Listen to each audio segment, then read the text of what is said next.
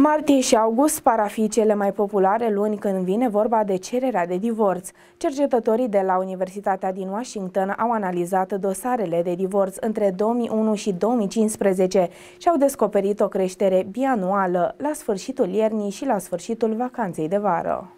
Cercetătorii cred că există perioade ale anului care sunt atât de sacre din punct de vedere cultural, încât cererea de divorț ar putea fi văzută nu numai ca proastă, ci absolut tabu. Perioada festivă de iarnă este una dintre ele, dar și vacanțele de vară, când copiii nu sunt la școală. În lucrarea prezentată în 2016, echipa emite ipoteza că aceasta ar putea fi și o încercare de a da lucrurilor o ultimă șansă. Vacanțele sunt și ele stresante, ceea ce poate crea o presiune suplimentară pentru relații relații și poate deteriora situațiile deja precare. Dosarele de divorț din august vin după perioada pentru vacanțele de vară, dar înainte de reînceperea școlii. Încep să urce după cea mai scăzută valoare în decembrie, atingând un vârf în martie. Cercetătorii cred faptul că cuplurile ar putea avea nevoie să-și facă ordine în gânduri înainte de a depune dosarul, ceea ce ar putea explica creșterea mai lentă în lunile de iarnă, dar vara cuplurile ar putea dori să o facă mai repede, pe măsură ce începe școala. Primul Primul an al pandemiei de COVID-19 a înregistrat cea mai scăzută rata a divorțurilor din ultimii 50 de ani, înainte de a reveni în 2021, relatează playtech.ro.